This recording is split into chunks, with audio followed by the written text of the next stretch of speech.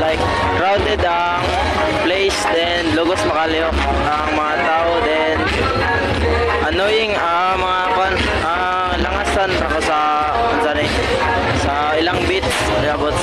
music Nidang ko ng mga presyo sa mga product ba tawagan na or Ano na siya, ma'am? Amo man ang inangkat, ma'am.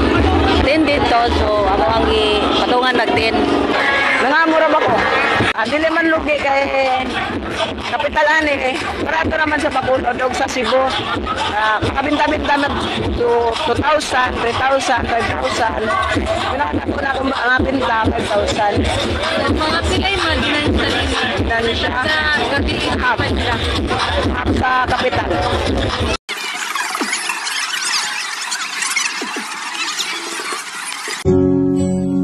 After two years of having a pandemic, the most awaited Buglasan Festival opened in year 2023. So what is Buglasan? Buglasan is a cultural festival celebrated every October in the province of Negros Oriental, Philippines.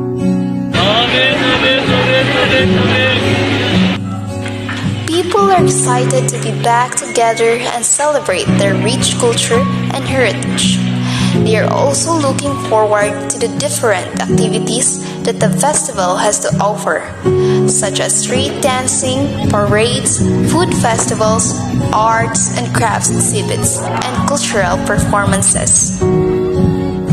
The Buglasan Festival has a significant positive impact of the economy of Negros Oriental.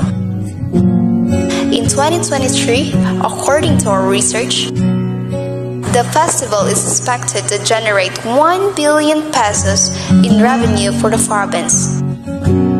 The festival also creates jobs and helps to promote local businesses.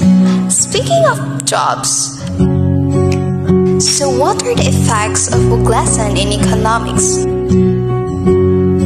Buglasan attracts thousands of tourists annually, generating millions of pesos in revenue. The festival attracts the thousands of tourists to Negros Oriental each year, and it generates millions of pesos in revenue for the province.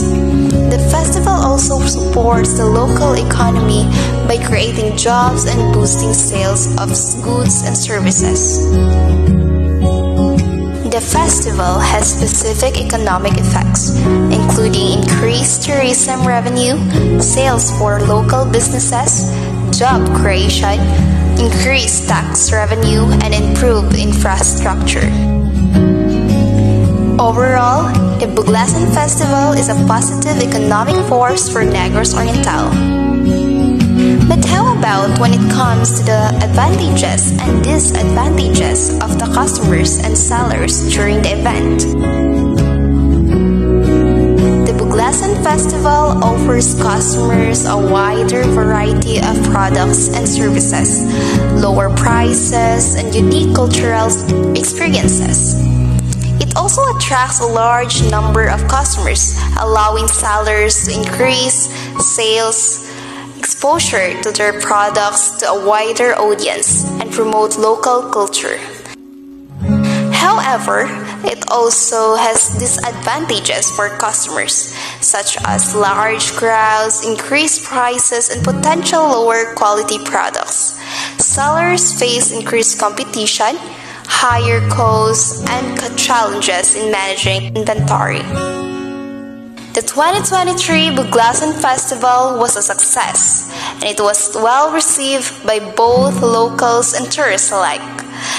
The festival was a reminder that the people of Negros Oriental was resilient and will continue to celebrate their culture and traditions even if in the face of adversity.